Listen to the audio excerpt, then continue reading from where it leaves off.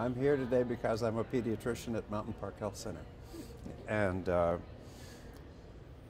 my life is devoted right now and has been for a long time to caring for patients who come from a variety of cultural backgrounds. And uh, the conference, I came to the conference last year and it gave me a lot of insights and tools for thinking about and approaching care for diverse populations. Okay. And so um, you've, you've, you've, attended in, in, the past, you're attending this year, and you talked about some of the tools that you're able to take from the conference each year. Um, maybe you can tell us about some of the things that you're gaining and some of those tools that you're taking away.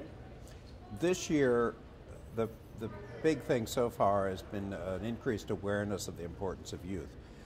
I have a lot of adolescent patients and care for patients until they're 21 and uh, I w- I'm impressed with the intensity and the excitement of the people in the youth workshop I'm attending. And there was a youth uh, speaker this morning. She gave a powerful uh, presentation talking about values in her life related to practical issues of health care and monetary constraints and, and how that is, is a base for a mission for her, and uh, and that that's important as a pediatrician because a lot of what I work with is is uh, talking with kids about where they're and young people about where they're going, and and uh, I don't see their side of it as clearly as as I have this morning.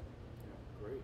And um, for those that aren't attending the conference this year, why should people attend? What would you tell someone that, that was thinking about attending? My sense is that the conference is oriented toward people who work in organizations and to help people work with the uh, cultural differences within the group. We all work increasingly in a world where our colleagues come from a variety of different backgrounds and have a variety of different personal Uh, characteristics, and it, it really, really helps people work in today's world.